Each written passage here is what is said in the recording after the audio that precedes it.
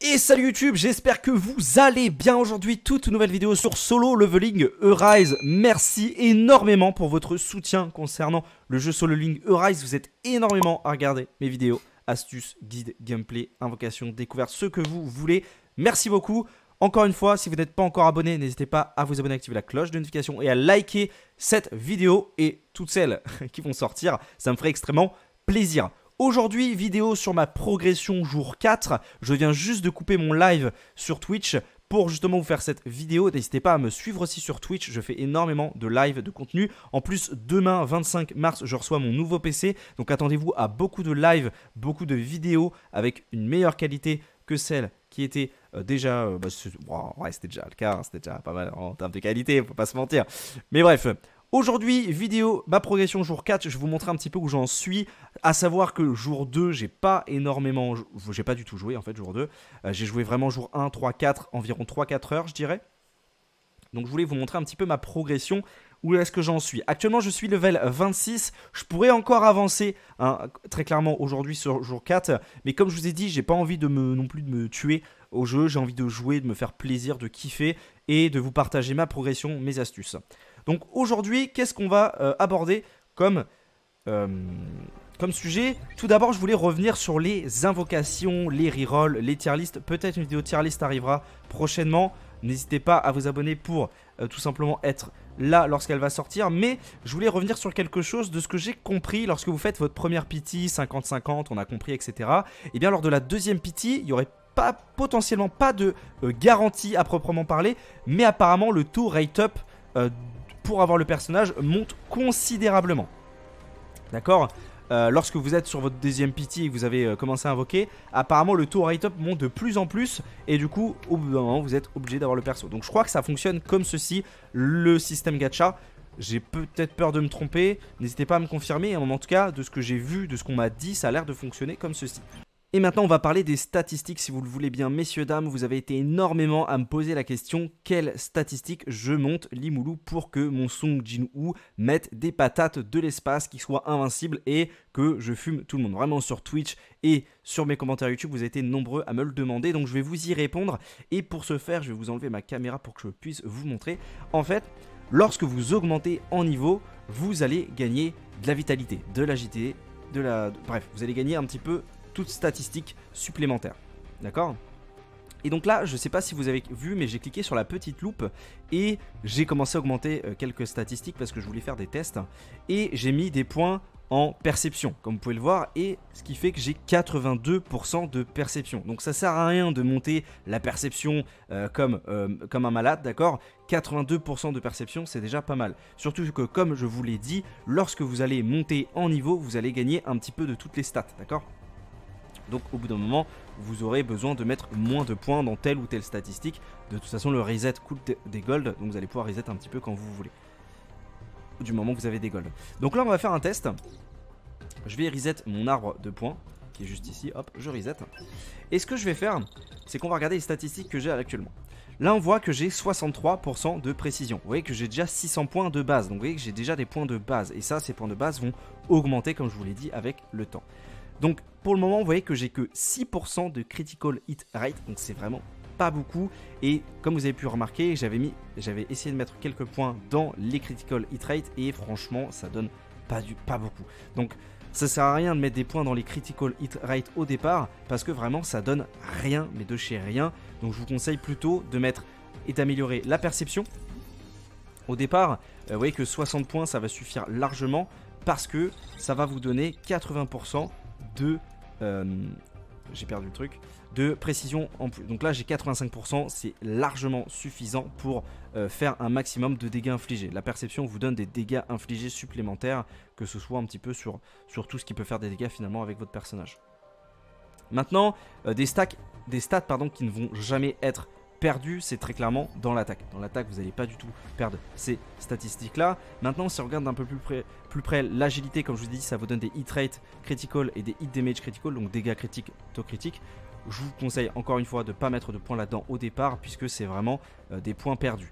L'attaque et les défenses HP, c'est des stats que voilà, ça ne sera jamais perdu, ça va vous augmenter considérablement vos statistiques de personnage. Maintenant, on va regarder d'un peu plus près les statistiques d'intelligence. Si vous le voulez bien. Donc on regarde là par exemple que les cooldown reduction, j'ai 0,29%. Donc c'est vraiment pas beaucoup, hein, on va pas se mentir. Et euh, je sais pas où est-ce que c'est. Euh, tac tac tac, cooldown. Les MP, voilà, les, les, points de mana. Donc on va essayer de mettre, voilà, on va dire 20 points euh, on va mettre 20 points dans le mana, voir un petit peu. Et donc là, vous voyez que je gagne 46 additionnel MP. On c'est 46 points de mana, supplémentaires. Et si je clique là-dessus, on va regarder que j'ai obtenu c'est où MP Je suis passé à 1104. Donc vraiment, vous gagnez très peu de MP.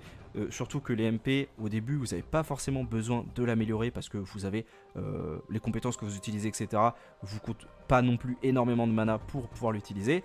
Et si on regarde un petit peu dans les cooldown reduction, ouais, on a gagné pas grand chose. On était à 0,23, je crois, si je dis pas de bêtises. Là, on à 0,84. Donc vraiment, vaut mieux, je pense, améliorer les statistiques, comme je vous le disais, de intelligence et de agilité plus tard dans le jeu, lorsque je sais pas, vous serez au niveau 40, 50, 60, voilà, que vous aurez déjà des grosses statistiques. Et là, vous allez justement aller chercher un petit peu les stats qui vous manquent pour justement euh, bah, aller chercher euh, ces 80% de, critical rate qui peuvent être intéressants.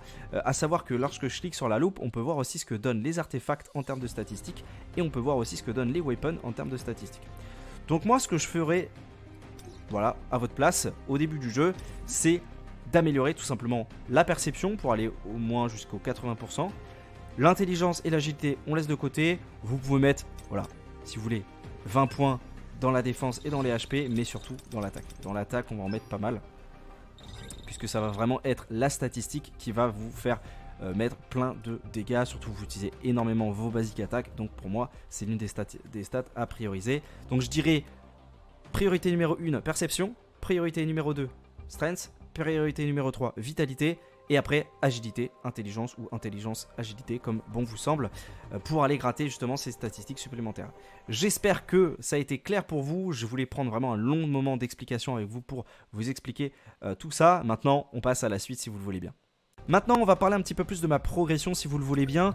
Euh, si on regarde challenge, vraiment utiliser les challenges pour progresser dans le jeu. C'est tellement bien fait. Euh, ce système de challenge, ça vous permet de progresser vraiment de plus en plus dans le jeu de façon simple, smooth, sans problème. Vraiment, je, vraiment, bravo. Mon chapeau là-dessus. Ils ont vraiment bien géré là-dessus. Ça fait 4 jours que je joue. Ça fait 4 jours que je suis mes challenges. Et vraiment, je suis pas frustré. J'avance. J'ai vraiment l'impression de bien progresser dans le jeu. Donc vraiment, faites votre challenge. Euh, faites-les. Faites-les tout simplement. Donc là, je suis un peu bloqué parce que mes clear encore mission, faut que j'attende de récupérer des clés pour les refaire. Donc ça m'a un petit peu bloqué, mais je me suis dit, bah écoutez, je vais peut-être m'avancer un petit peu pour la suite. Donc ce que j'ai fait, c'est que je me suis tout simplement avancé et clear toutes les quêtes qu'on me demandait de faire. Donc comme ça, demain, jour 5, je vais me connecter et le chapitre 4, c'est fait. Ça fait un petit peu un chapitre par jour et c'est vraiment très cool. En plus, ça donne 10 tickets invocation, on va pouvoir invoquer avec ça. Et puis après, bah, jour 5, je vais pouvoir commencer mes quêtes pour tout simplement... Euh, Level up Sung Jingwu, skill 1. Ouais, donc là, vous voyez, il faut que j'augmente mes skills. Et plus tard, je vais avoir enfin ma lance. Et ça, c'est incroyable. Parce que la Dragon Sword, elle est vraiment trop trop forte. J'ai vraiment hâte de la voir. Je vous conseille fortement d'aller la chercher au chapitre 5. C'est vraiment une très très belle arme. Et l'une des seules, euh, surtout de type light. Donc vraiment, allez chercher cette arme. Elle est vraiment incroyable. Mais vraiment, point d'honneur sur avancer dans vos missions. Pareil, il y a des choses que je vous ai pas forcément dites lors de ma dernière vidéo et que je trouve plutôt intéressant aussi à aborder. Et oui les gars, moi je vous coupe en pleine discussion, on va partir maintenant sur les invocations, j'ai fait une petite multi sur la bannière de Choi Jong-in et je voulais vraiment vous la montrer parce que j'ai vraiment envie de vous montrer toute ma progression sur Solo Leveling Arise. Je rappelle aussi que j'ai une chaîne secondaire où je vais mettre les replays et les rediffs et les VOD de toute mon aventure sur Solo Leveling Arise. Le lien sera aussi dans la description et je vous le montre aussi sur la vidéo. Malheureusement, comme vous pouvez le voir, j'ai drop un SR, mais j'ai drop l'orbe de l'avarice. Et je vais pas vous mentir que si vous regardez Mardif, et bah, l'arme, elle est vraiment, vraiment broken. Je vous invite à aller la regarder, vraiment, elle est incroyable. Je l'adore, c'est, je pense, l'une de mes armes préférées tellement c'est trop fort. On va reparler rapidement de reroll, de tier list, mais surtout une chose très importante à faire lorsque vous débutez le jeu, je vous dis ça par expérience parce que j'ai vraiment avancé dans le jeu, etc. Et je vais sûrement vous redire d'autres choses dans les prochaines vidéos. Mais pour moi, il y a quelque chose qui est hyper important, c'est de ne pas choisir d'armes dans la rate up list avant d'avoir votre premier SSR. Parce que pour moi, commencer avec un drop d'armes SSR, ça, vous met vraiment dans la panade, ça vous ralentit, je trouve, votre progression. Il y en a qui n'ont pas de personnage SSR. Alors, Alors certes, vous pouvez très clairement bien avancer avec des personnages SR, mais les personnages SSR, franchement, il y a quand même quelque chose en plus. Donc franchement, je vous conseille de pas forcément choisir de personnages SSR armes, pardon, pas d'armes SSR dès le départ, jouer plus des personnages. Par exemple, cette team là est plutôt intéressante à aller chercher, ou bien même euh, celui-ci, ou bien même euh, elle. Vraiment, euh, il y a beaucoup de choses à aller chercher en termes d'SSR. Pour moi, je vous referai une vidéo tier list pour potentiellement vous dire quel est le, meilleur SSR à aller chercher au début du jeu, par exemple. Mais vraiment, aller chercher un personnage SSR. Pareil, si jamais vous voulez jouer la faux, la faux, vous l'aurez gratuitement au bout du chapitre 9 et 12. Donc, n'allez pas chercher tout simplement cette faux dès le départ. C'est pour moi pas intéressant. Par contre, l'épée en premier lieu et le grimoire d'eau, ça peut être intéressant. Mais vraiment, au départ, allez chercher des personnages en termes d'invocation. Je sais qu'il y en a beaucoup qui aiment beaucoup Emma Laurent qui est un très bon perso. Il y en a beaucoup qui aiment l'archer qui est un très très bon personnage qui fait beaucoup de DPS. Il y a Baek qui est un très bon personnage pour Break Shield, ce qui est plutôt intéressant dans certaines phases et certaines situations. Et le support qui est là pour vraiment vous mettre très très bien. Euh, très clairement. Et après, bah, il y a d'autres personnages optionnels, comme par exemple ce personnage-là qui va être très intéressant, lui aussi, lui aussi. Vraiment, il faut se dire qu'il y a tellement de contenu dans le jeu qu'il faut absolument avoir des personnages de euh, différents éléments. Dans le sens où, par exemple, si je vais dans le Game Mode et que je vais euh, dans les encore missions, eh bien, vous, vous pouvez remarquer qu'il y a un boss qui va être ici. Ce boss-là, vous allez avoir vous allez faire plus de dégâts, pardon, je vais y arriver, si jamais vous avez l'élément euh, d'arc. Ici, plus de dégâts, c'est l'éléments feu. Ici, plus de dégâts, je sais pas c'est quel élément et l'autre non plus, mais euh, c'est pas le même élément, j'en suis sûr et certain. Donc voilà, faites attention à ça. Pour moi, c'est très intéressant d'avoir plein de différents personnages et pas forcément plein de fois le même personnage au départ.